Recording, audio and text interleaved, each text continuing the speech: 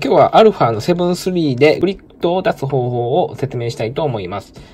で、グリッドっていうのはどういったものかって言いますと、もう今すでにこれ入ってるんですけども、縦のライン、横のラインっていうのが、えー、こうやって現れます。ここのラインに合わせることによって、例えば構図だとか、ここのラインに建物を合わせて水平を合わしたりだとかね、することによって、うまくね、構図とかラインとかを決めることができますので、そういった時にすごく役立つ機能になっておりますので、ぜひ活用していただければなというふうに思います。それでは設定の方法を説明していきたいと思います。まずはここのメニューっていうボタンを押してください。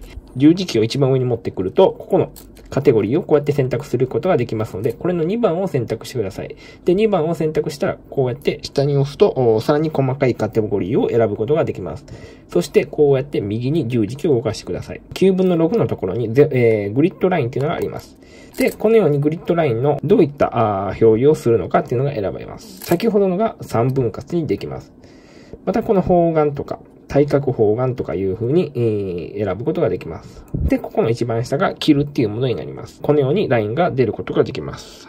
はい。えー、このようにしてグリッドを出すことによってうまく水平を保つことができるかと思いますので、ぜひ、チャレンジしていただければなというふうに思います。はい。今日の説明は以上です。ぜひチャンネル登録の方もよろしくお願いします。ご視聴ありがとうございました。